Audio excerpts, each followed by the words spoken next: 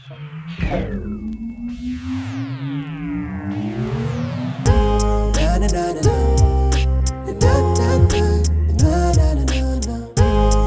like it when they do that. Click.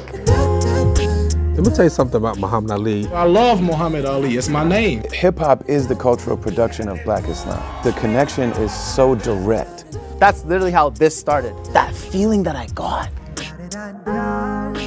We hadn't even thought the kind of juggernaut it'll become. Aisha became almost like an anthem. We just needed that song. Love the message. One of my favorite. The Message was one of the formative films for me. I would watch it over and over again, right? Rewind, scramble it, right? Rewind, scramble it. Allah Made Me Funny was the pinnacle. Pretty much Azhar Usman and Mo Amer. I can't do what they're doing being on stage and trying to make this room full of people laugh and stuff. I think we need to change the conversation even around just having a role model or having representation. It's about having good representation. Imagine 10 more Riz Ahmeds, 10 more Mo Salahs. More, more, more, more.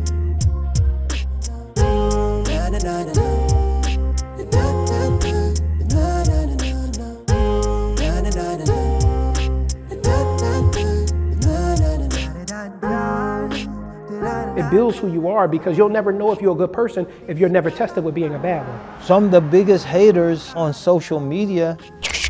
Oh, shut You meet them in person, give me a kiss. Mm, I love you. It just makes me laugh. It's so funny. I'm sorry. People have too much time on their hands. He's a funny guy. He is a funny guy. It's true. yeah, I shouldn't be saying this. It's literally all love. Diggity, check it.